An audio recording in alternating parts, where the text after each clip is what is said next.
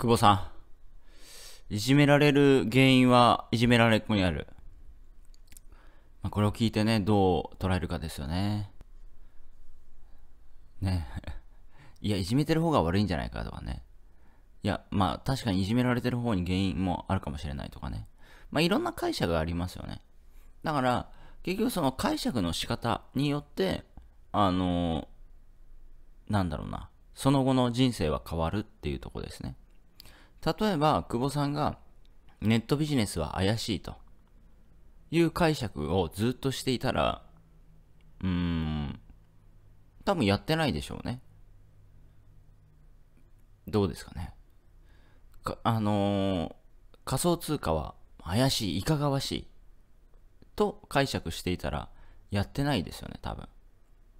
おそらく。うん。例えば、うん、目の前にね、あ、そう、最近レベゼン地球さんが面白い動画あって、あ、こう、オチ面白いなと思って。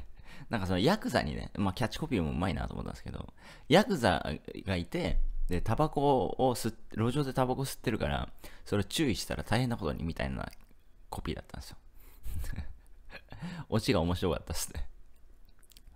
だから例えば、もう自分がね、この人ヤクザだと。絶対ヤクザだっていう認識だったら、解釈だったら、多分、関わりたくないですよね。っていう解釈だったら。でも、外見はもうめちゃヤクザなんだけど、めちゃ優しいみたいなね、実は。実はクソ優しいみたいな。ただ、風貌がもう鬼のようにヤクザみたいなね。でもそれもどう解釈するかですよね。うん、外見で解釈するのか、内面で解釈するのか。ただし内面に関しては触れてみないとわかんないっていうね。うん。だから、あの、食わず嫌いっていうね、言葉が世の中にありますけど、食わないで嫌い。うん。まあその食わないで嫌いっていうのも外見を見てね。まあその日本でも、なんかその虫を食べる、な、なんだっけな。なんかありますよね。あのー、なんだ。あ、そう。あとエスカルゴとか確か、あカタツムリだったかな。なんか虫、なんか、虫食べる日本。なんかあったような気がするんですけどね。美味しい昆虫料理10選。ヘボ。あ、あ、蜂の子ね。蜂の子。蜂の子。うん。蜂の子。タガメ。タガメ結構あれだな。タガメ結構グロいっすね。うん。カイコ。うん。なるほどね。あ、イナゴだ。イナゴの佃煮。イナゴね。うん。サソリとか。でもこれも、これも、やっぱ外見が結構きつかったら、やっぱ食いたくないなっていう解釈の仕方もあるし、いや、待てよと。こう食べてみないとわからんぞっつって、まあ、食べてみたら意外に美味しいとかね。だこれも解釈ですね。外見で解釈するのか、うん、とりあえず食ってみようみたいなね。だそそそそれによってその後の行動変わりません？外見で、例えば、気持ち悪い、虫食うのきついってなったら、あのー、なんだろうな。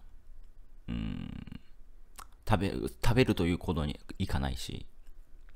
でも、その解釈の仕方で、いや、これ食ってみないとわからんぞっていう解釈の仕方だったら、食べるという行動に移すかもしれないし。